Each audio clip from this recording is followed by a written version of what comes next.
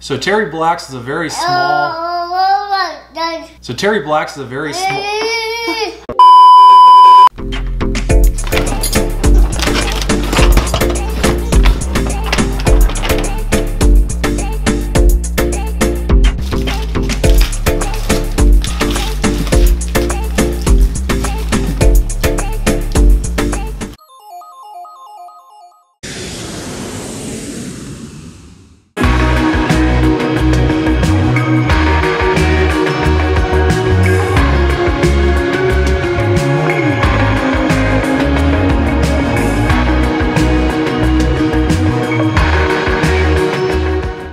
Back to Casiano Travels. Home of the family that lives by car and Blaine. I'm MJ. And I'm Christine. And I, Cashy!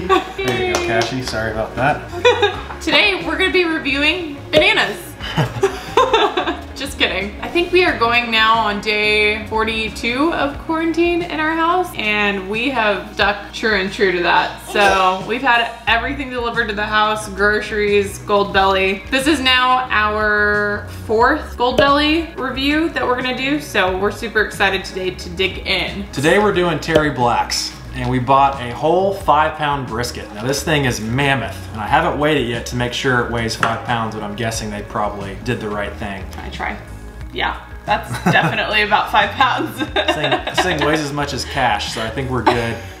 So it's a whole brisket and it's already pre-cooked. So they sent it to us frozen on dry ice and we just thawed it out. So you have to give it about a day or two to thaw out and the cooking directions are pretty easy. You heat the oven at 300 degrees and then you let it cook for about two to two and a half hours. So Terry Black's is a small family owned business that's based out of Lockhart, Texas. They also have a location in Austin and they just opened one up a couple months ago in Dallas, Texas. Now Christine and I went for the first time to Terry Black's about six months ago. Christine, what were your thoughts on it? It was the best damn barbecue I've ever had in my life. And I grew up in Texas. That's saying a lot. It was so good. Yeah, it was amazing. I'm a big barbecue guy. I travel for work for a living. I've had barbecue in Texas, Memphis, Nashville, Kansas City, St. Louis, the Carolinas, Georgia, all over the country.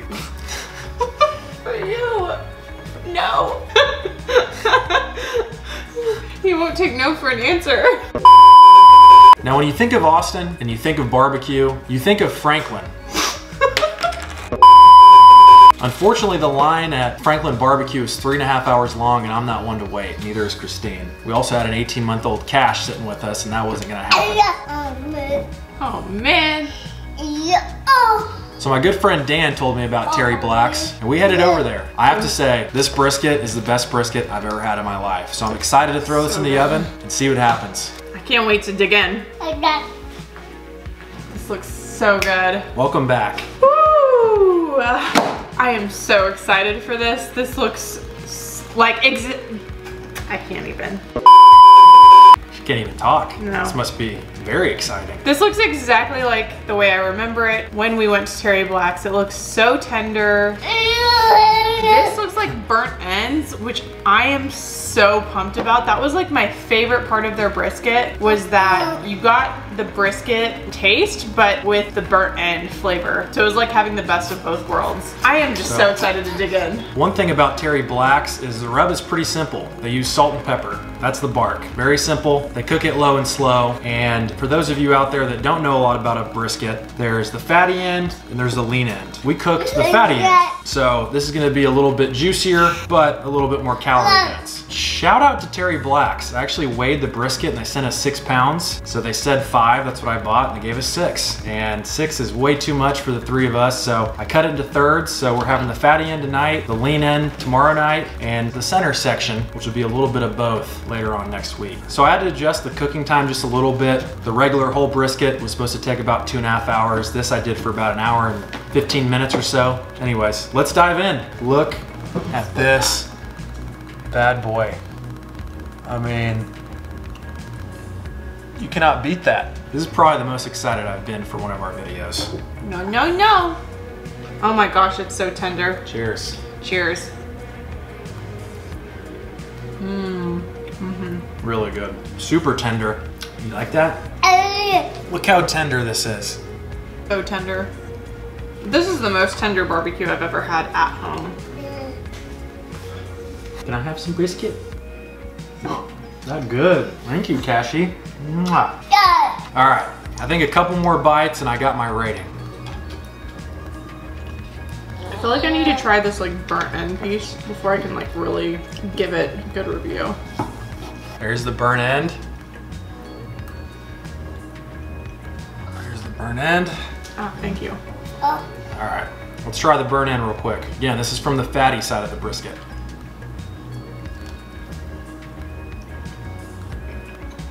A lot harder to chew. Mm-hmm. Is it exactly how you remember? Close, not I exact. agree. Is this the best barbecue I've had at home? Yeah, it is. Is this exactly how I remembered it at Terry Black's? No, I, I remember it being like way better. This is still amazing, but my review here at home versus at Terry Black's would probably vary a little bit. The brisket's pretty spot on, especially that those fatty pieces that we had. It was really the mm, burn ends burnt portion ends. for me that kind of ruined it. Yeah. I love burn ends, but these were just like leather. Now, it could have been me. I could have maybe overcooked it, but I followed instructions as much as I could, and that part was pretty tough. It was like chewing on a shoe. But the brisket part is amazing. Brisket's amazing. As always, we're gonna judge off of three things. The first thing is visual appeal, the second is the taste, and the third is how it compared to when we actually had it fresh at the restaurant. So with that being said, Christine, what's your rating? You know, I think I'm gonna have to go with like a 7.4. Wow. Simply because, simply because I hold them to such a high standard. Oh, um, when we went there in person, yeah, yeah. I think I would have rated it a 9.8 out of 10. It was out of this world incredible. If you ever have a chance to go into Terry Black's in person, amazing.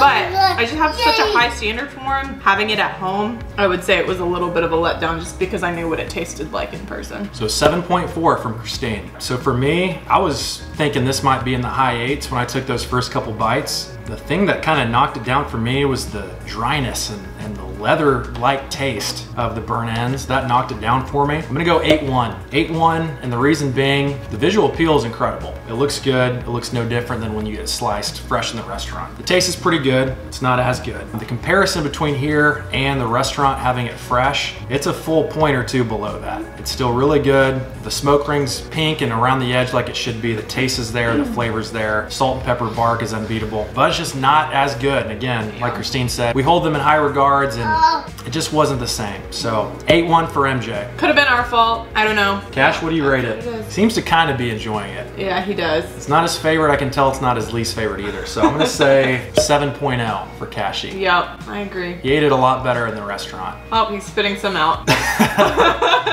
Thanks as always for watching. If there's any other restaurants you want us to review from Goldbelly, write those in the comments below. In the meantime, we're gonna need you guys to get out of here so we can finish this brisket. bon appetit. Bon appetit. Stay safe out there.